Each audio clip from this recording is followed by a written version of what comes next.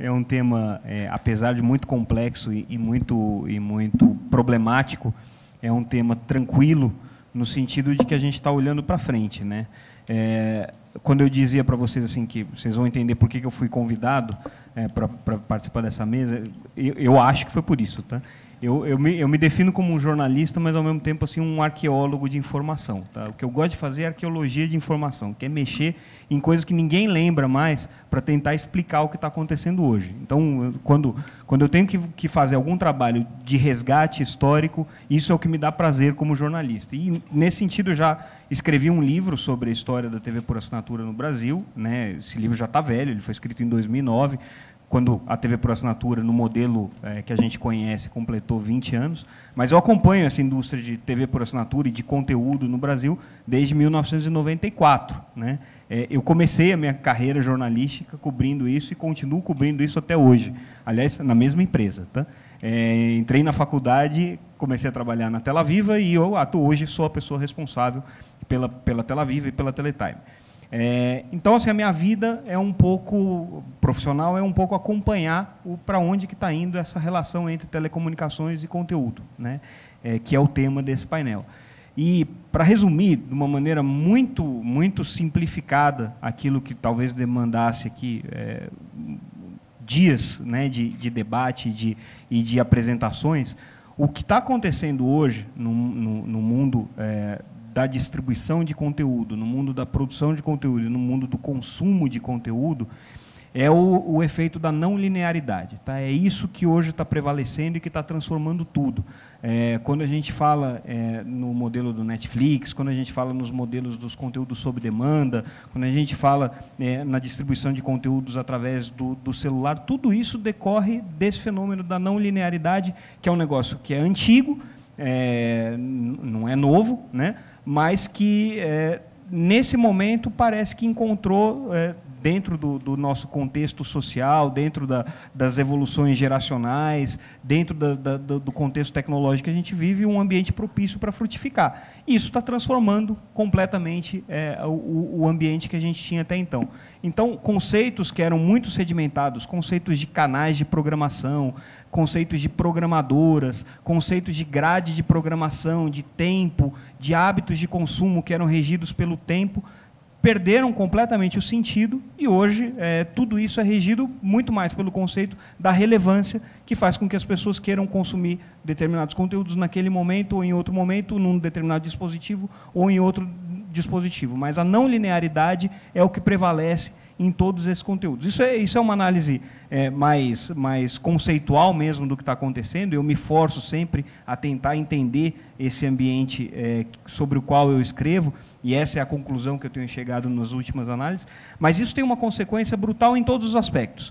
É, no aspecto mercadológico, você tem uma transformação é, total dos modelos de negócio. É, eu acho que hoje, muito mais, inclusive, nas empresas produtoras de conteúdo do que nas empresas distribuidoras de conteúdo, porque as empresas distribuidoras, basicamente, elas vão se tornar, já se tornaram, é, meios de conectividade, provedoras de conectividade, seja por, por IP, seja por IP wireless, seja por. Né, mas vão, vão ser produtores é, de, é, é, provedores de conectividade. As empresas de conteúdo é que a coisa mudou muito. Né? É, o, o, o, modelo que embasava grandes canais de programação, é, que era de você produzir um volume absurdo de horas de conteúdo, distribuir aquilo em vários canais, e aqueles canais é, serem comercializados em grandes pacotes. Então, é, eventualmente, um, um, canal subsidiava o outro, você tinha é, um modelo que sustentava uma cadeia muito grande hoje foi substituído por um modelo como o modelo do Netflix, não estou dizendo que esse vai ser o modelo que vai prevalecer, mas como o modelo do Netflix, em que você tem conteúdos específicos sendo consumidos. É, e, eventualmente, aquele conteúdo que não tem tanta relevância acaba ficando lá para o fim da cauda longa, né? é, mas sem encontrar um modelo de viabilização econômica. Então, essa transformação para os produtores de conteúdo é brutal. Tá? A gente ainda não sabe como vai ser. A boa notícia para eles é que todo mundo quer conteúdo, inclusive as empresas de telecomunicações. Por quê? As empresas de telecomunicações perceberam que o grande problema que, eles têm é distribuição de conteúdo na banda larga, é isso que está fazendo as redes congestionarem, é o tráfego explodir, a necessidade de investimentos crescer. É, esse é o grande driver né, da, da, da banda larga, é o conteúdo, então é o problema para eles mas pode ser também uma solução. Então a gente vê movimentos acontecendo. Começou em 2009, quando a, Comcast, uma operadora de, de TV a cabo americana, resolveu comprar ali a, a, a, Universal NBC, que era um grande é, é, grupo de mídia. Né? Agora, recentemente, a gente viu uma fusão de 100 bilhões é, é, de dólares, uma tentativa, né, ainda não está concretizada, da, da, da AT&T comprando a Time Warner, que era um grande grupo de mídia também, e outros movimentos similares certamente vão, vão acontecer. Tem outros que aconteceram na Índia, que a gente não tem nem referências, na Europa também, o grupo Vivendi é, vai e volta né, nesse mundo da distribuição, mas está lá, presente na Telecom Itália, né, a, o grupo Liberty. Então, você tem é, é, vários movimentos nesse sentido, de aproximação entre as empresas de telecom e as empresas de conteúdo. Por quê? É, o conteúdo pode ser a solução para eles. Como que vai ser feito isso do ponto de vista de modelo de negócios, a gente ainda não sabe né, como que isso vai se viabilizar. E isso coloca também um problema, além do problema é, é, do ambiente é, de mercado, para o regulador. Né? É, ontem a gente estava acompanhando um debate tributário né, sobre a, a, a, Lei Complementar 157, que estabeleceu lá o ISS para os serviços de streaming. É um absurdo o que o está acontecendo. Que a gente definiu ali que você vai ter uma lei que define que um serviço que é digital, tecnológico, super cool, todo mundo quer, bacana, você vai pela internet, você contrata, paga o cartão de crédito, pô, lança uma série por, por, por, por, semana. Às vezes tem uma série que faz muito sucesso, depois se descobre que o protagonista era um, um, um predador sexual, mas isso aí não vem ao caso.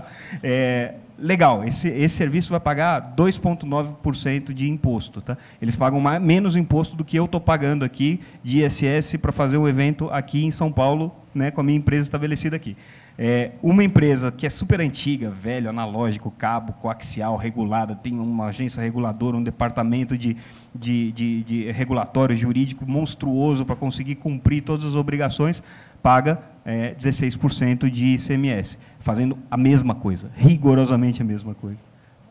Não, é que no caso de TV por assinatura tem, um, tem, uma, tem, uma, tem uma sessão no Confaz ali. É, mas pode ser 25, é, pode ser 25, enfim. Né? É, então, assim, é, esse, isso só do ponto de vista tributário. É, a né? larga continua nos 25, calculado por Isso, é. Isso, isso do ponto de vista tributário, para falar de regras de qualidade. Né? É, regras de qualidade são completamente assimétricas também. É, regras de é, é obrigações de, de, de, de, de compliance com relação a, a, a, a investidores, também completamente assimétricas. É, então, assim, é uma situação que o regulador vai ter que, vai ter que lidar em algum momento. Né? E aí, Elinor já está cortando o meu tempo aqui. Então, basicamente para dizer isso, tá? A não linearidade acabou com tudo que a gente conhecia e agora a gente tem que reconstruir tudo do zero.